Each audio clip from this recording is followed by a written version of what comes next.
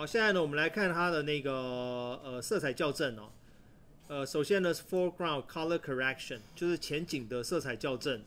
那你可以看到呢，这个背后的天气呢其实是阴天，所以它的暗部跟亮部它的反差很弱，就是明暗反差很弱，色彩饱和度低哦。所以呢，启动这个以后呢，第一个先降低前景的色彩饱和度。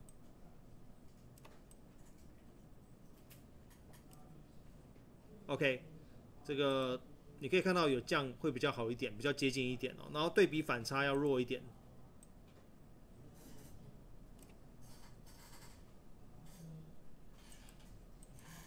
好像有点有点多了一些。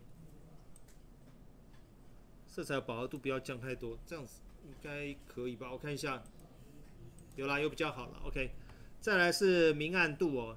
这个看起来前景特别亮哦，所以应该，等等，我调错了，明暗在这边哦，brightness，OK，所以降降低它的亮度一些哦，OK，所以这边现在看它前景的色彩校正，OK，看起来比较吻合了。Color suppression 就是说画面如果有被染色的话，染到什么颜色的话，你可以去救它。为什么会染色呢？因为如果没有去背的话。你拍绿幕的时候，如果离这个背景太近哦，光线打在背景上会弹到演员身上，这演员就被染绿，懂意思吗？所以它这个是拿来处理那个被染绿或染蓝啊那种效果的，所以这边没有要用这个东西做处理啊。然后再 color balancing，就是说这个画面前景的颜色要偏什么颜色，给它一点点色偏啊，就是偏可能像我觉得这个。这个看起来到底应该偏黄还是要偏蓝呢？我感觉好像偏蓝，阴天好像应该是有点蓝色带在上面哦，所以我可能给他一点点蓝吧。但是我这样子拉一定会拉太多了，这没有关系，因为这个是先把那个色相决定好，色相决定好以后呢，因为这个一定拉太多了，所以 saturation 要往回拉，我会从这边拉，我因为我觉得这个比较好拉，所以这就是调一点点蓝色在它身上叠在上面而已了。所以你可以看到现在就是。有色教跟没色教的差别，OK 吗？哦，所以有色教跟没色教差很多。然后再来我们看啊，边边角色的边边呢，它其实哦看起来要在这个环境光里面，就是在这个环境里面呢，我们要做一个 H Color Correction 边缘哦。所以这要怎么做呢？我们先把故意把边边调超亮，哎，超亮，然后你没感觉对不对？因为这边还有一个这个我看啊，H brightness 要调大了，我弄错了，这边。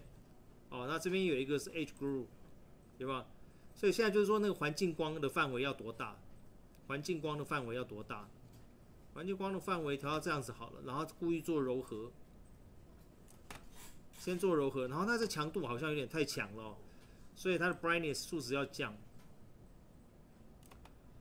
降了以后，我看哈，环境光的颜色应该是在哪边调？Color balancing。所以跟刚刚一样，就是它的那个颜色，我可能会调，到底要调调哪一个比较好呢？这实在让人犹豫啊。好了，蓝色好了，还是黄色呢？青色看起来好像鬼片。好，这边的 saturation，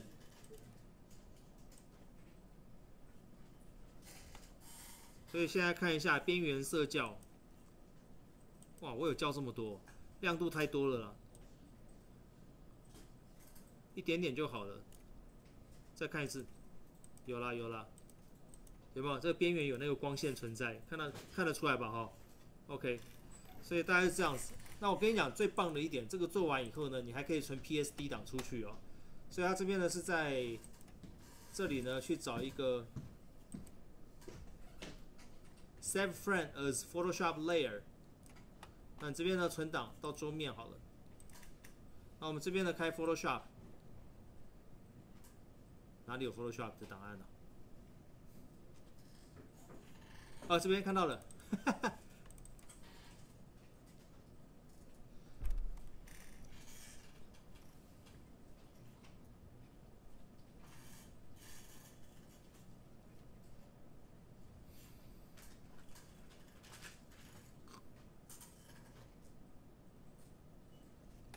你可以看到它分两个图层哦，有看到吗？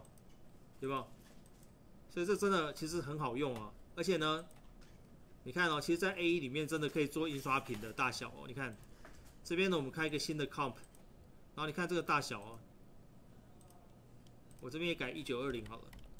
然后会，哎，等一下，等一下，Composition Setting，锁长宽比哦，你看它可以拉多大？现在 Shift 按怎么放这样拖拉？好，机体被我拉过头了。它是可以真的拉很大，因为我我是记得我之前有这样子弄过，所以你平常做印刷品也很少做到三万乘以三万像素嘛，对不对？所以这是很 OK 的哦，OK。好，那画面要还给你了。我